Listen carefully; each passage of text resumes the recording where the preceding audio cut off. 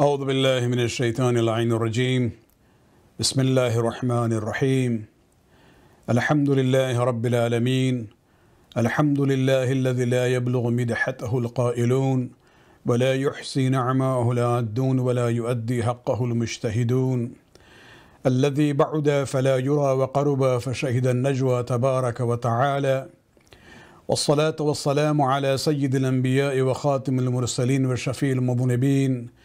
سيدنا ونبينا بالقاسم محمد. اللهم صل على محمد وآل محمد. وعلى أهل بيته الطيبين الطاهرين المعصومين الذين أذهب الله عنهم الرجس وطهرهم تطهيرا. اللهم صل على محمد وآل محمد. واللعنة الدائمة الباقية لأعدائهم ومنكر فضائلهم وغاصب حقوقهم. من الآن إلى قيام يوم الدين. أما بعد فقد قال الله سبحانه وتعالى في كتابه الكريم هو الذي أرسل رسوله بالهدى ودين الحق ليظهره على الدين كله ولو كره المشركون In this series of majalis for Muharram, I've been beginning with this ayat from Surah Tawbah, which combines the promise that Allah subhanahu wa ta'ala has given to our Prophet, Prophet Muhammad sallallahu alayhi wa sallam, that He sent him with guidance and the true faith, with the purpose of giving it total domination over all religions. And that fulfillment of the promise given by Allah to Prophet Muhammad will be fulfilled at the hand of his descendant Al-Mahdi, Ajjalallahu Ta'ala Faraj Sharif. And so we are talking about the connections and the similarities between Imam Hussein and Imam Mahdi, looking at the connection between Karbala and the zuhur and appearance of the Imam. But as usual, I would like to start with a hadith on the issue of the Azaf, Sayyid al-Shuhada, the importance of remembering Hussein ibn Ali. And this is a narration that we have from Sheikh Saduq in Uyuna Akhbar al-Rida, where he is quoting from Imam Rida salam, who takes his own quotation all the way to his forefathers, going to Rasulullah sallallahu alayhi wa sallam, where the Prophet said, إن موسى بن عمران سأل ربه عز وجل فقال He's saying that when Musa ibn uh, Imran, Prophet Musa, prayed to Allah subhanahu wa ta'ala once, at the time when his brother Harun had died, he says, Ya Rabbi, أن أخي هارون مات فاغفر له والله my brother Harun has passed away so forgive him فأوحى الله عز وجل إليه Allah subhanahu wa ta'ala revealed to Musa عليه السلام he said يا موسى لو سألتني في الأولين والآخرين لأجبتك If you had asked for forgiveness of all the people from the early days to the latter days, I would have responded to your dua of forgiveness ما خلا قاتل لحسين except for the killer of Hussein ibn Ali فإني أنتقم له من قاتله Allah subhanahu wa ta'ala says to Musa that I am for sure I'm going to take revenge for him from his murderer. And this is where, you know, when we hear about Allah subhanahu wa ta'ala in Islam, yes, we emphasize that Allah is Rahman and Rahim. But we also cannot ignore His other attributes which are there in the Quran. We talk about 99 beautiful names. We have to remember that Allah subhanahu wa ta'ala Himself has described Himself three times in the Quran that I am from the muntaqimeen. Muntaqimeen, those who do intiqam, who take revenge. So muntaqim means the avenger. And Allah subhanahu wa ta'ala, yes, He is willing to forgive anyone who comes to Him with true remorse and asks for forgiveness sincerely, Allah will forgive. There are many, many ayat that Allah subhanahu wa ta'ala talks about it. But He will equally punish those who arrogantly violate His laws, especially those who violate the rights of other people. There, there is no forgiveness because that is the demand of justice and Allah subhanahu wa ta'ala. While He is kind and merciful, He is also just and fair. In the context of the story of Karbala, Yazid is the prime example of those who cannot be forgiven. He is indeed the one from whom Allah subhanahu wa ta'ala will take the revenge. In Ziyarat Warith, from Imam Ja'far al-Sadiq that we partly you know discussed it in one of the majalis about the companions of Imam Hussein. In the earlier section of that ziyarat, the sixth Imam is saying to us when you address Hussein ibn Ali, there is one sentence relevant to this theme. Where we say, Assalamu alayka ya thar Allah wa ibn tharih wal witr al mawtur. What does this mean? We recite that every Thursday night. Peace be upon you, O the one whose revenge will be taken by Allah, and the son of the one whose revenge will also be taken by him, the one for whom revenge is sought.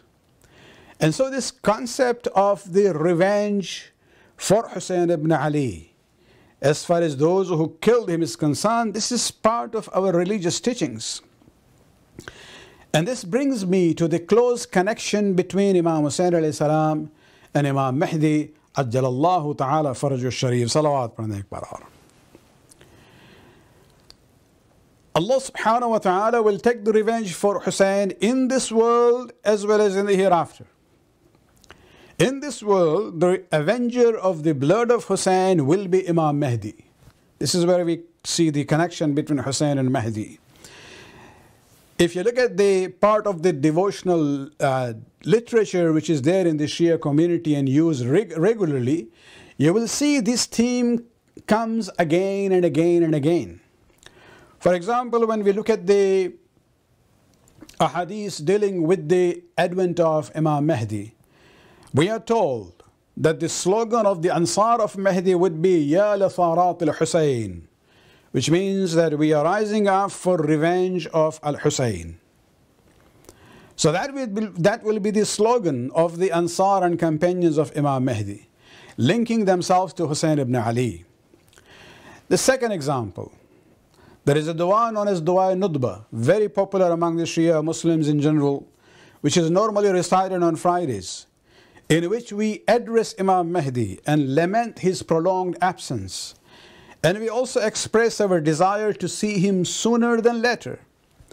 In the words that we describe him and call him, one of the things we, we say is, أين الطالب لدم المقتول بكربلاء This is how we address the 12th Imam, Imam Mahdi.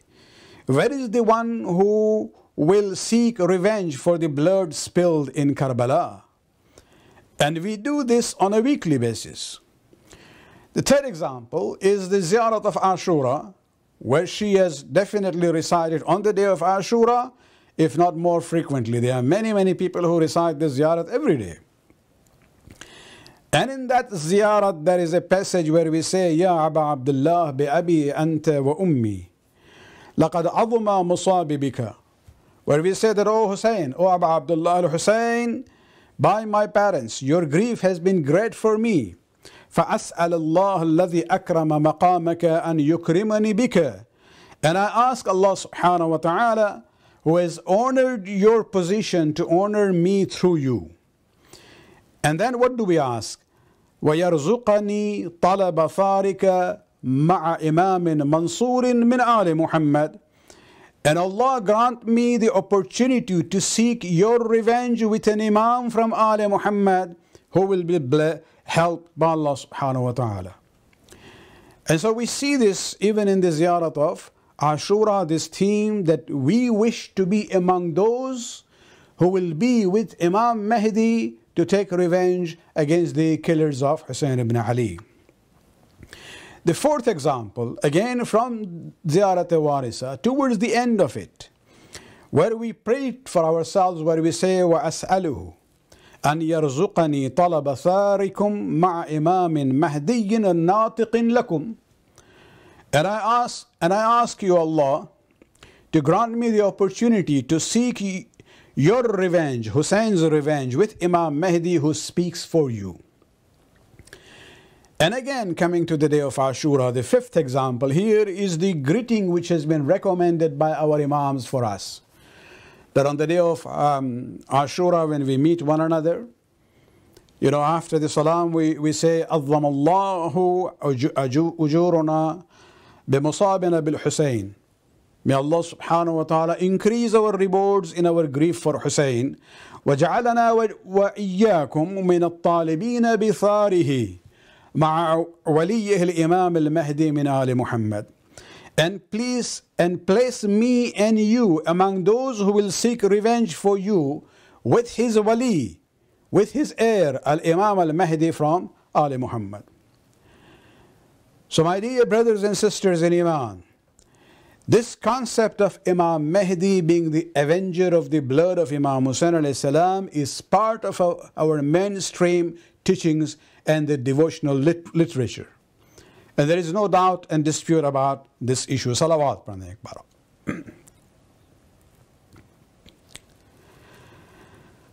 So that, let us now move on to the second part of this, this discussion, and that is whom will Imam Mahdi kill as far as this process of, you know, avenging the blood of Hussein? That Imam Hussein salam represented Banu Hashim, whereas Yazid represented Banu Umayyah.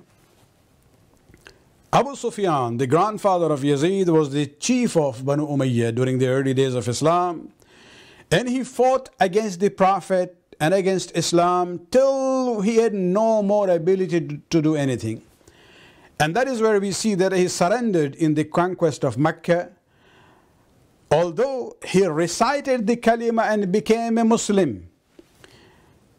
But Iman is something else. His actions and words clearly portray that his heart was not in Islam. After the passing away of the Prophet, he very easily made peace with the Khulafa, who in return started promoting his sons. So they wouldn't promote him because he was known to be a very, uh, you know, big enemy of Islam till the last days, just before the wafat of the Prophet. And so they started promoting his son or eldest son Yazid, and then the younger son Muawiyah, to the extent that by the time of the third Khalifa, the entire region of Sham, now, when we use this term Sham in a historical context, it covers Palestine, Jordan, Lebanon, and Syria. And so by the time of the third Khilafat, the entire region of Sham was under the control of Banu Umayyah in the hands of Muawiyah.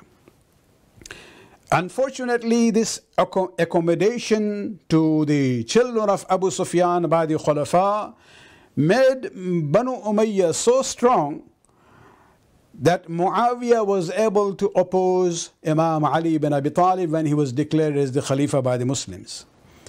And by the time of Imam Hassan, by the power of his military, he gained control of the entire Muslim empire. So yes, Karbala was also a struggle between Banu Hashim on one hand and Banu Umayyah on the other hand. Banu Hashim were representing the true Islam, while Banu Umayyah were representing the corrupted version of it. It was Hussein who's, who actually shattered the false version of Islam represented by Yazid. Allama Iqbal very beautifully puts this where he says, چون خلافت رشته از قرآن گسیخت حریت را زهر اندر کام ریخت He says when Khilafat severed its link with the Quran the body of freedom was filled with poison. خواست آن سر جلوه خیر الامم چون صحاب قبل باران در قدم Then the noblest of mankind stood up, referring to Hussein, emerging as rain cloud on horizon. بر زمین کربلا بارید و رفت لاله در ویرانه ها کارید و رفت he, he showered the desert of Karbala sprouted lilies in that devastated land تا قیامت قطع استبداد کرد موج خون او چمن ایجاد کرد till the last day he vanquished the tyranny his blood watered the garden of freedom. So although after Yazid many Yazids will come but they will not be able to gain any legitimacy from the Islamic point of view. Because Hussein was killed but his message is alive. It will be there. For every Yazid coming at any time in the history, the message of Hussein ibn Ali would be there to defeat that force and to show that these kinds of people, followers of Yazid, in whatever shape or form they come, they are not considered to be legitimate from the Islamic point of view. Now, coming to the advent of Imam Mahdi salam and his role as the avenger for the blood of Imam Hussein, we hear in the narrations that we have that a person will emerge at that time by the name of Sufyani. And he will oppose Imam Hussein and he will oppose Imam Mahdi salam. This Sufyani will be from the descendants of Banu Umayyah. That's why he's called Sufyani. He's from the descendants of Abu Sufyan. And his actual name would be Uthman bin Ambatha. He will rise in Syria. And after a confrontation with the army of Al Mahdi, he will be killed. And therefore, you know, whenever these events take place in the Syria and Iraq area, people get very agitated in a way because they sometimes say that, well, this is the beginning of the end. But Allah subhanahu wa ta'ala knows the best. Now, the question that comes to mind is that although this Sufyani will rise against Al Mahdi and will be killed, how can he be considered as a revenge for killing Hussein ibn Ali? Because Hussein ibn Ali was killed centuries by the ancestors of this Sufyani. Now, since this is a very delicate issue, I'd like to, um, you know, draw your attention to this issue in more detail by explaining some ayat and hadith on this issue. Salawat padhne ek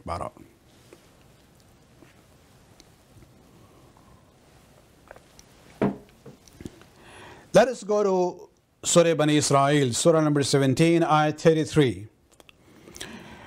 After saying that do not kill innocent souls, Allah subhanahu wa ta'ala says, وَمَنْ قُتِلَ مَظْلُومًا And whoever is killed unjustly, فَقَدْ جَعَلْنَا لِوَلِيِّهِ سُلْطَانًا We have indeed given to his heir an authority. Authority to do what? To retaliate if they want. They have been given that option because that is what justice demands. However, Allah says, وَلَا يُسْرِفْ فِي الْقَتْلِ فَإِنَّهُ كَانَ مَنْصُورًا That the heir who is going to take the retaliation should not exceed in that act, for surely he has been helped in giving this right of retaliation. Now remember that when we talk about Quran, the Quranic verses have different levels of interpretation and they are not contradictory to one another. Each level of interpretation would be valid in its own context. So they are esoteric, general you know, interpretations to the ayat of Quran, and they are esoteric and specific interpretation to the ayat of Quran. In the esoteric interpretation for this verse, Imam Ja'far as-Sadiq says that this verse, where Allah subhanahu wa ta'ala says that when somebody is unjustly killed, we have given the authority to the heir to take retaliate to retaliate the sixth Imam says, ذَلِكَ قَائِمُ آلِ مُحَمَّدَ alayhi السلام. This refers to the قائم آل Muhammad referring to Imam Mahdi who will appear يخرج فيقتل بدم الحسين and he will kill for spilling of the blood of Hussein يقتل والله زرارية قتلت الحسين بفعال آبائها He will by Allah kill the descendants of the killers of Hussein for the deeds of their forefathers. Let me repeat this that he will kill the descendants of the killers of Hussein for the deeds of their forefathers. Now, this idea of killing the descendants for the sins of their forefathers is not that easy to digest. Even during the days of the Imam, Imam Ja'far as-Sadiq met this comment. And we see, you know, just uh, two generations after that, Abdul Salam bin Salih al-Harawi, a companion of Imam Rida alayhi salam, asked him about this hadith of Imam Ja'far al-Sadiq. And this is where he says, he says, يَبْنَ رَسُولِ اللَّهِ مَا تَقُولُ فِي حَدِيثِ anis عَنِ الصَّادِقِ What do you say about the hadith which has been uh, you know, narrated from Imam Ja'far al-Sadiq that he is going to kill the descendants of the killers of Hussein for the deeds of their forefathers. Imam Rida salam says, Huwa kavalik. That is how it is going to be. That is the truth. So now, Abdul Salam, you know, asked the following question. He says, فقول الله عز وجل ولا تذر واذرة وذر أخرى ما معناه then he says, then what is the meaning of that verse of Allah subhanahu wa ta'ala where he says, no soul shall carry the burden of another?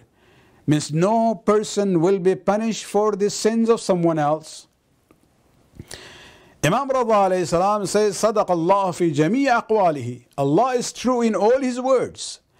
ولكن ضراري قتلت الحسين But when it comes to the descendants of the killers of Hussein, يرضون بأفعال آبائهم they will agree with the actions of their forefathers ويفتخرون بها and they will feel proud of what their ancestors had do, done ومن رضي شيئا كان كمن أتاه and whoever is pleased with an action by done by someone else is like the one who has committed that, that act by itself and so this is a very important point. And then Imam says further, وَلَوْ أَنَّ رَجُلًا قُتِلَ فِي الْمَشْرِقِ If a person is killed in the east part of the world, فَرَضِيَ بِقَتْلِهِ رَجُلٌ فِي الْمَغْرِبِ Then someone in the western part of the world is pleased with that killing, لكان الراضي عند الله عز وجل شريكة القاتل. So the person you know, who was pleased with that killing in other part of the world, in the eyes of Allah subhanahu wa ta'ala, is a partner in that crime of the killer. وإنما يقتل القائم عجل الله تعالى fridge الشريف إذا خرج لرضاهم بفعل آبائهم and the Qaim will kill them because they will agree with what was done by their ancestors.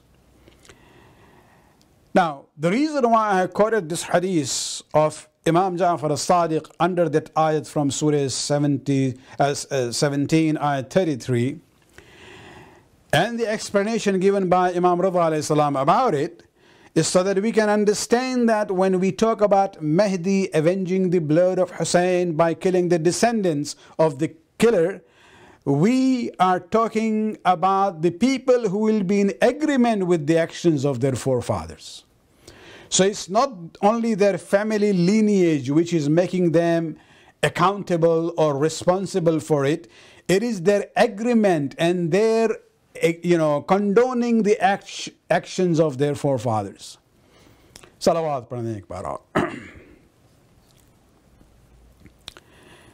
Now this entire issue of, you know, uh, intellectually or mentally being affiliated to what people had done in the past this is something we have to think about.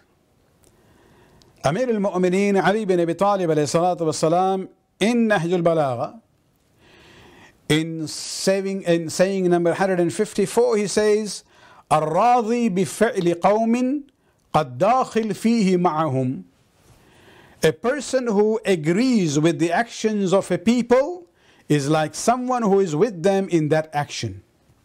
وعلى كل داخل في باطل إثمان and such a person who agrees with the action of somebody else has two sins the sin of the action which was done by the other person because now he is partner with him in that way mentally intellectually and the sin of agreeing to what was done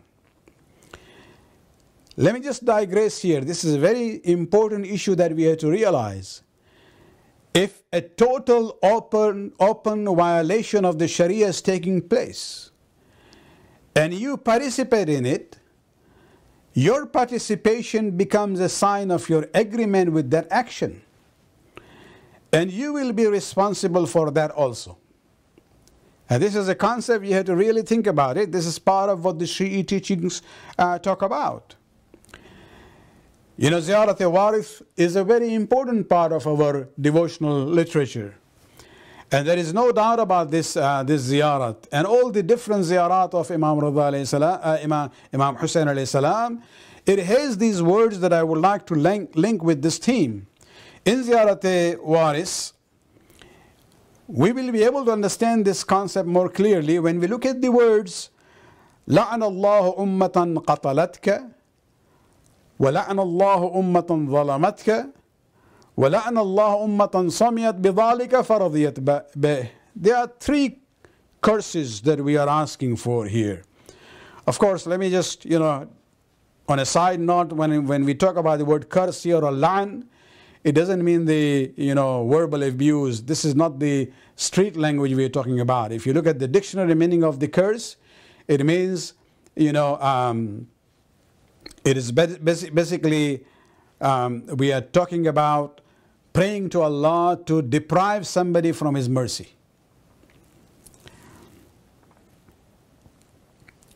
And so when we say, لَعَنَ اللَّهُ أُمَّةً قَتَلَتْكَ May the curse of Allah be on the people who killed you, O Hussein.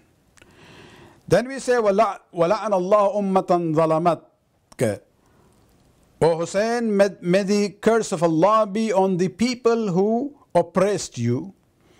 And then we say, وَلَعَنَ اللَّهُ أُمَّةً صَمِيَتْ بِذَلِكَ فَرَضِيَتْ بِهِ And may the curse of Allah be on the people who heard about it and were agreeable or pleased with it. Now the first group, the first sentence, لَعَنَ اللَّهُ أُمَّةً قَتَلَتْكَ May Allah curse the people who killed you refers to the people who were there in Karbala who killed Imam Hussein alayhi salam. وَلَعْنَ اللَّهُ أُمَّةً ظَلَمَتْكَ The second group, where we say, may the curse of Allah be on the people who oppressed you, refers to all those who ordered this act, who planned it, who supported it, logistically, financially, in whatever ways. But what is this third group? وَلَعَنَ اللَّهُ أُمَّةً صَمِيَتْ بِذَلِكَ فَرَضِيَتْ بِهِ May the curse of Allah be on the people who heard about it and who were pleased and agree, agreeable to that. Here it's not referring to one group of people. This is an open-ended statement. There is no limitation of time and space here. This applies to anyone even those who come centuries after the events of Karbala, when they hear about the massacre of Karbala, if they agree with what Yazidi people had done, then they are also included in this lan and in this curse that we ask Allah to put on them. And that doesn't matter whether they lived at that time or not. Because remember, that killing of Hussein ibn Ali was not a personal issue. He was the waris, heir of the Anbiya, the prophets and messengers of Allah subhanahu wa ta'ala, the awsiya of Allah subhanahu wa ta'ala. And those who, were kill, who killed him were not just individuals. They were actually part of an ideology representing evil. So whoever will be representing that you know, ideology during the zuhur and the appearance of the Imam of our time will be part of the Yazidi act and they will face the same consequences. Let me further say that, you know, when we talk about this third group, which is a very, you know, um, generic uh, title, and it can be applied to different people at different times, you know, this is a mentality where they actually regret that they were not there to kill Imam Hussein alayhi salam in Karbala. And therefore, what do they do now? They propagate against Hussein ibn Ali. They condemn his actions and his, um, you know, his stand. They support Yazid. And not only that, they actually go and kill the followers of Hussein and the symbols um, related to Imam Hussein alayhi salam as a way of, you know, attacking Hussein ibn Ali. And so when we talk about killing such people by Imam Mahdi, this will be a kind of a revenge against the killing of Hussein ibn Ali in Karbala. Let me give you an example. During the the days of the uh, 9th and uh, 10th and 11th Imam, the era of Mutawakkil, the Abbasid Khalifa, he had this at most, you know, hatred towards Imam Ali and the children of Ali. He could not tolerate that the Shias are going for the visitation to the shrine of Imam Hussein in Karbala. And so he tried more than once when he was in power to erase all the signs and the symbols representing Hussein ibn Ali, putting barriers, preventing people from going to visit the, the shrine, even tried to demolish and erase the signs as far as the grave and the shrine of Imam Hussein is con concerned. And during, during those days, people who opposed his action in different ways. There was one poet by the name of Ali bin uh, Muhammad al Baghdadi in the year 247 uh, of the Hijrah. He actually composed um, poetry talking about you know, what he thinks of mutawakkil and what is his mentality. And it's very, very much relevant to our theme here. He says, تالله إن كانت أمية قد أتت قتل ابن بنت Nabiha مظلوما He says, by Allah, for sure Banu Umayyah are responsible for killing the son of the Nabi's um, daughter unjustly. فلقد أتاه بنو أبيه بمثله هذا لعمري قبره مهدوما He says Banu Umayyah were not related to um, Banu Hashim. But then he says that we see that even without within the Banu Hashim, the Ali Abbas, Abbasida Banu Hashim also. He says, but this Banu Hashim had done the same thing as Banu Umayyah, the Banu Hashim from the line of Abbas. And he says, Look at this, that the grave of Hussein today is demolished. أسفوا على أن لا يكونوا شاركوا في قتله فتتبعوه رميما Now he's, he puts his very powerful you know, statement where he says, it seems that these people regret that they were not alive those days to kill Hussein and be partner in killing Hussein. Therefore now they go after the grave of Hussein. So Mutawakkil was not there. He didn't kill Imam Hussein alayhi salam. But they have this regret that, you know, we were not there to kill him. They had this hatred towards Imam Hussein alayhi salam. And so they targeted the shrine of Imam Hussein alayhi salam. So Mutawakkil and people like him, they agreed and they were pleased with the Yazidi forces for killing Hussein and his companions. And therefore they are eligible for the act of revenge in the name of Hussein ibn Ali. The ideological children of Abu Sufyan and Muawiyah and Yazid during our time are the extremist Wahhabis. You know, groups like Taliban and ISIS. And that is why you see one of the first things they do is to destroy the shrines related to our Imams, besides the other shrines of other people. And for them, killing of Imam Hussein is, is, is confirmed. It's not an issue that they think about it, that should we do this or not. Why do they do that? Because they, had, they have hatred towards Hussein. So anybody follows Hussein, they would even kill, kill that person. And included in this group, especially the third sentence in Ziyarat Warisa, وَلَعَنَ اللَّهُ أُمَّةً سَمِيَتْ بِذَلِكَ فَرَضِيَتْ بِهِ are the muftis and the scholars who might come now in 21st century and issue verdicts, fatwas saying that Hussein was wrong because Yazid was a legitimate Khalifa.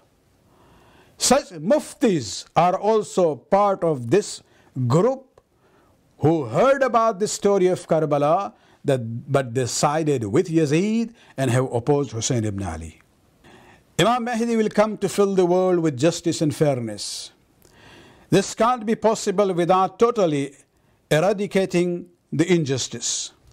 What happened in Karbala was prime form of injustice and getting rid of the ideological descendants of Yazid will be necessary to establish justice and fairness once and for, uh, for all in the whole world. Salawat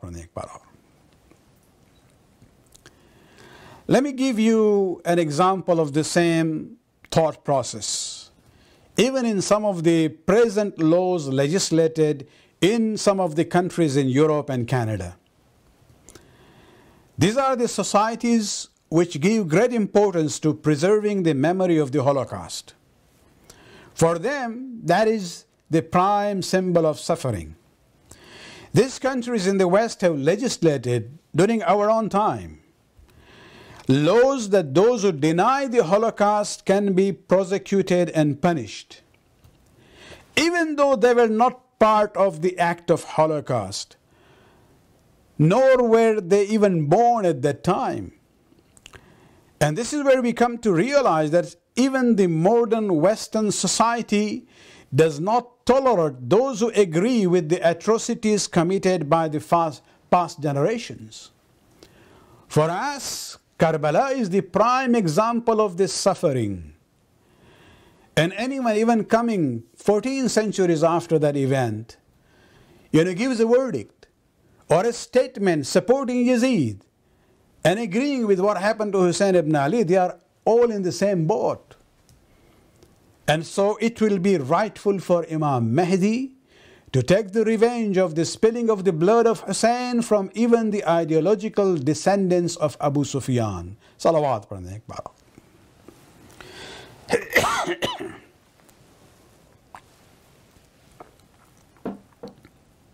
Let me give you one more example from the words of Amir al-Mu'minin when we talk about this spiritual or intellectual and mental affiliation in spite of the the gap in time.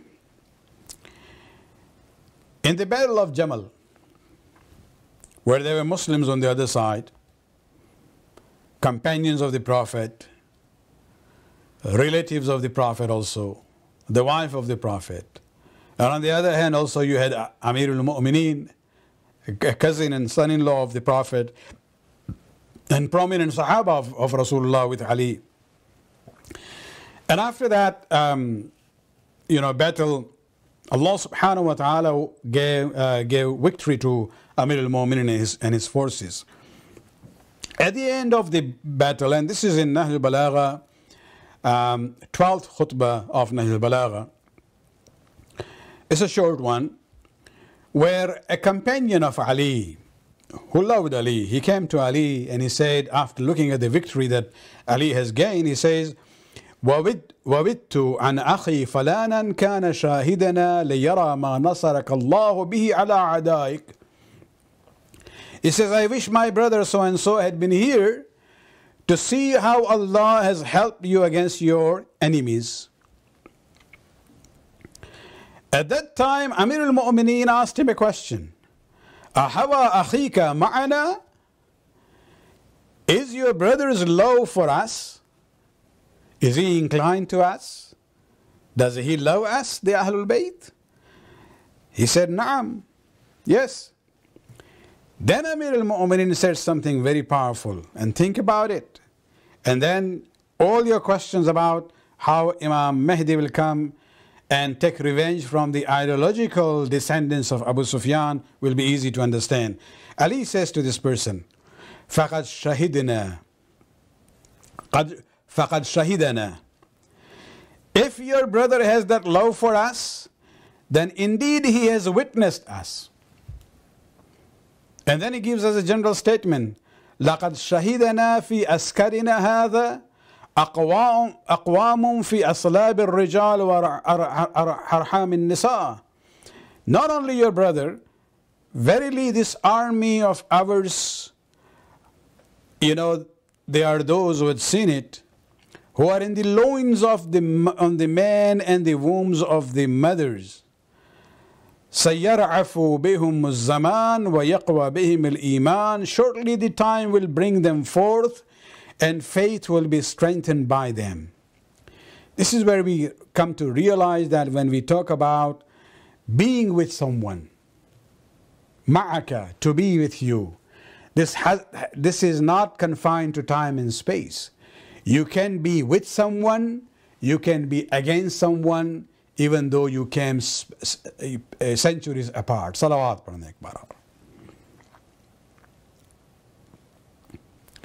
When we mourn and grieve the tragedy of Karbala, we are in a way announcing our support for Imam Hussein salam and his cause. And very clearly declaring our disgust at Yazid and his forces and his ideas. All the symbols of Azadari that we have, these are also our expression that we are with Hussein and against Yazid. When we raise the flag of Hazrat Abbas, Alam, Alam is a flag. And it doesn't have to be of a particular shape or form, doesn't matter, it's a symbolic thing. The Alam of Abbas symbolizes that Hussein's cause is alive. The Alam of Abbas symbolizes the loyalty, the sacrifice, the selflessness in the most difficult test in human history. After the shahadat of most of the companions and family members, Abbas goes to Imam Hussein salam and he says, I can't hold myself anymore. Allow me to go and fight this kuffar. Imam looked at Abbas and he said something very, very interesting. To praise Abbas, you don't need anything other than this statement of Hussein ibn Ali. He looks at Abbas and he says, Oh my brother, إذا مضيت تفرق عسكري. Oh my brother, if you go away, my army will be scattered. You know, we are told that Abbas responded by saying that, Oh Imam, where is this army now? But what Hussein ibn Ali wanted to say that, Oh Abbas, I rely and trust you on so much that as long as you are there, as if your, my entire army is there. And so he didn't allow him to go and fight. But right at that moment, the children who had been thirsty for more than two days now, you know, their frequency of their cry, Al Atash, Al Atash, Al Atash, when they were crying for water, right at that moment they started crying, Al Atash, Al Atash. And this is where Imam Hussain salam says to Abbas, if you want to do something, go and bring water for these children. Abbas goes, got the permission. He goes to Sakina and says, Give me your mashk, your water bag. I'm sure when that niece of Abbas, who loved him so much, brought the water bag, she must have brought it with full confidence and hope that if my uncle Abbas goes, he will surely come back with water and our thirst will be quenched. Abbas चलते हैं खैमगाह से लेकिन हमें बताया जाता है उलमा का बयान है कि एक मरतबा फिज़न फिज़ा ने आवाज़ दी अब्बास रुको اور جب عباس رکے ہیں، فضہ کہتی ہے کہ عباس، زینب نے تم کو یاد کیا ہے، جا کے زینب سے مل لو۔ اسد اور حسین، جناب جناب امام حسین کو جتنا بھروسہ تھا عباس پر، اس کا فقرہ آپ نے سن لیا، اذا مضیت تفرق عسکری۔ اب زینب کے بیان سن لیں آپ۔ امام جا، جناب عباس جاتے ہیں زینب کے خیمے میں۔ زینب نے کہا کہ عباس بیٹھو۔ ہم تمہیں روکیں گے نہیں۔ لیکن جانے سے پہلے میری ایک بات سن لو۔ فرماتی ہے کہ اے عباس، ہم بچپنے سے بابا سے سنتے تھے کہ بیٹی ایک وقت آئے گا کہ تجھے اسیر بنایا جائے گا، تیرے چادر کو لوٹا جائے گا، تیرے بازوؤں میں رسن باندھی جائے گی۔ اور ہم جب یہ سنتے تھے میں معلوم تھا کہ بابا نے جو کہا ہے، حق ہے، یہ ہونے والا ہے۔ لیکن پھر تم پیدا ہوئے، پھر تم جوان ہوئے، تمہارے شجاعت کا چہرہ چرچہ چرچا جو ہے عالم عرب میں جب پھیل گیا تو کبھی کبھی میں بیٹھ کے سوچتی تھی کہ جس کی جس بہن کا باز جیسا بھائی ہو، کس کی مجال ہوگی کہ اس کی چادر کو لوٹے یا اسے اسیر اور قیدی بنائے یا اس کے بازو میں رسن باندھے؟ لیکن آیا ہے، عباس، آج جو بھی جا رہا ہے، زندہ لوٹ کے نہیں آ رہا ہے۔ آج مجھے یقین ہے، بابا نے جو کہا ہے وہ ہو کے رہے گا۔ عباس، خدا کے حوالے کیا ہم نے تم کو۔ جناب عباس جاتے ہیں۔ حضرت عالان حسین شجاعت کا وہ عالم تھا کہ یزیدی لشکر کی ہمت نہ ہوئی کہ مقابلہ کریں۔ وہ راستہ دیتے گئے، عباس آگے بڑھتے چلے گئے۔ یہاں تک کہ جو ایک مختصر سا نخلستان تھا خورمے کے درخت تھے۔ نہر علقمہ سے پہلے بلندی میں، اسے بھی پار کرنے کے بعد نشیب کی طرف جاتے ہیں۔ اپنے گھوڑے کو دریا میں ڈال دیا۔ اپنے مشکیزے کو بھی بھر لیتے ہیں۔ اور اس کے بعد عباس نے اپنے چلوں میں پانی لیا۔ یہ انسان کا تقاضا تھا۔ پیاس کی شدت بہرحال ایک لحاظ سے مجبور کرتی ہے۔ لیکن جیسے ہی پانی آگے قریب کیا ہے، ایک مرتبہ عباس نے پانی کو پھینک دیا۔ لگتا ہے کہ اس پانی میں چہرے سکینہ کا چہرہ نظر آیا۔ عباس کی وفا نے یہ گوارا نہ کیا کہ سکینہ پیاسی رہے، زینب پیاسی رہے، حسین پیاسی، پیاسے رہے اور عباس جو ہے، پانی پی لے، پانی کو پھینک دیتے ہیں۔ گھوڑے پر سوار ہوئے عزداران حسین۔ امام جناب عباس کے لیے اب مشکل مرحلہ تھا، اس لیے کہ اب نشیب سے بلندی کی طرف آنا تھا اور بلندی پہ خرمے کے درخت سے عباس کا اب ہم میں غم اور مقصد صرف اتنا تھا کہ مشکیزہ جو ہے پانی کے ساتھ خیم گاہ تک پہنچ جائے۔ جب ان درختوں کے درمیان سے گزرتے ہیں، ایک لئین جو چھپا ہوا تھا درخت کے پیچھے، وہ پیچھے سے آتا ہے، اس طرح سے وار کرتا ہے کہ عباس کے ایک بازو قلم ہو جاتا ہے۔ عباس نے علمن مشکیزے کو دوسرے ہاتھ پر، اپنے ہاتھ پر لے لیا۔ آگے بڑھتے ہیں، لیکن ایک لئین دوبارہ پیچھے سے آتا ہے۔ اسی طرح سے دھوکے سے وارا وار کرتا ہے۔ عباس نے فوراً جو ہے، مشکیزے کو اپنے اپنے دانت سے روک لیتے ہیں۔ اور اس کے بعد اپنے پورے دھڑ کو گرد گھوڑے کی گردن میں بھی ڈال دیتے ہیں تاکہ حفاظت کر سکے اپنی کی اپنی اور اپنے اس, اس مشکیزے کی۔ زور دیتے ہیں گوڑے کو کہ آگے بڑھے۔ اداران حسین یزیدی لشکر کے تمام دل سپاہی جن کی ہمت ندی کے عباس سے قریب آئے، ہاتھوں کے کٹنے کے بعد کوئی نیزے سے وار کرتا ہے، کوئی تلوار سے وار کرتا ہے۔ یہاں تک کہ ایک مرتبہ عباس کو خیال آیا کہ وہ دیکھیں کہ خیمہ کتنی دور پر ہے، اپنے پیروں کو رکاب پر زور دیتے ہیں تاکہ اپنے دھڑ کو اٹھا سکے۔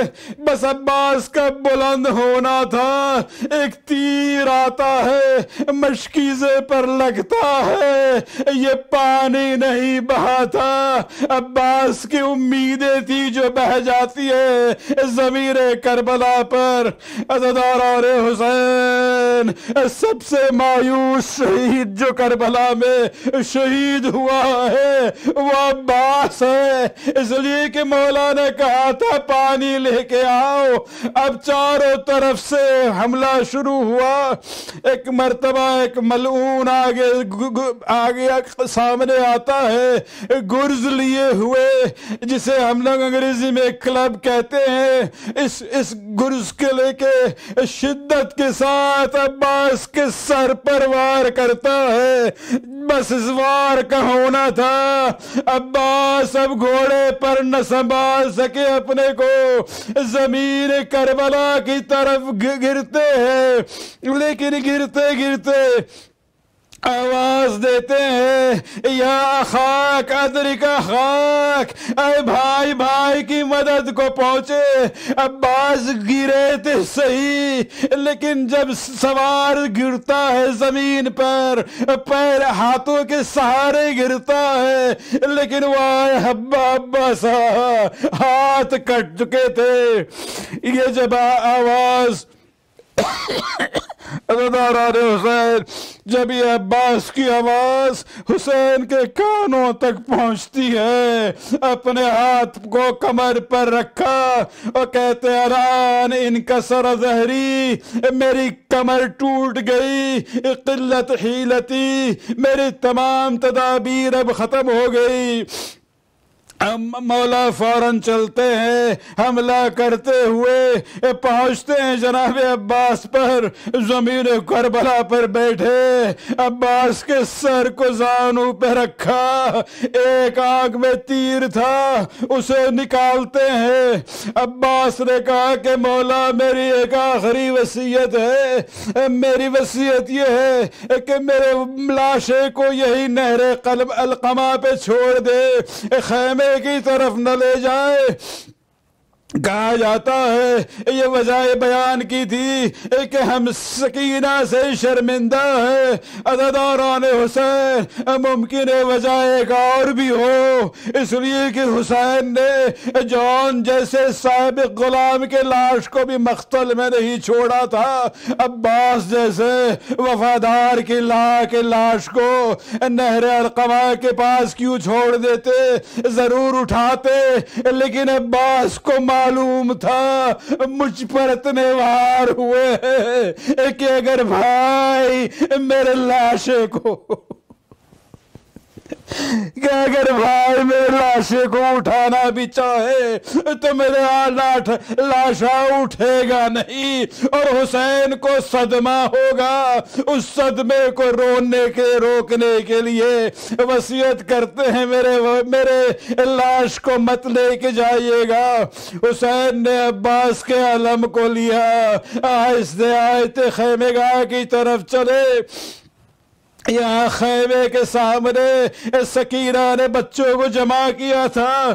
کہا کہ اب، ابھی جو ہے چچا جان ضرور پانی لے کے آ رہے ہیں۔ بس دور سے جب علم نظر آیا، بچی نے کہا، دیکھو، علم آ رہا ہے، پانی آ رہا ہے۔ لیکن جب حسین سامنے آئے، بچوں نے دیکھا، علم آیا۔ لیکن علم دار نہ آیا لعنت اللہ علی القوم الظالمین سیعلم الذین ظلموا ای منقلب ینقلبون خداوند اس قلیل بعد قبول فرما، ہمارے گناہوں کو بخش دے، ہماری توفیقات میں اضافہ فرما. خداوندہ عباس کے اس قربانی و وفاداری کے صدقے میں شیعان علی جہاں بھی ہیں جو عباس کے مولا کے عزادار ہیں، خداوندہ ان کو اپنے حفظ امان میں رکھ۔ ان کے عزاداری کو محفوظ فرما۔ جتنے دشمن اسلام، خصوصاً دشمن دشمن شیعہ ہیں، ان کے تمام تدابیر اور سازشوں کو ناکام قرار دے۔ تکفیری افواج کے تمام صلاحیتوں کو نیست و نابود فرما۔ امام کے ظہور میں تاجل فرما، ربنا تقبل من انک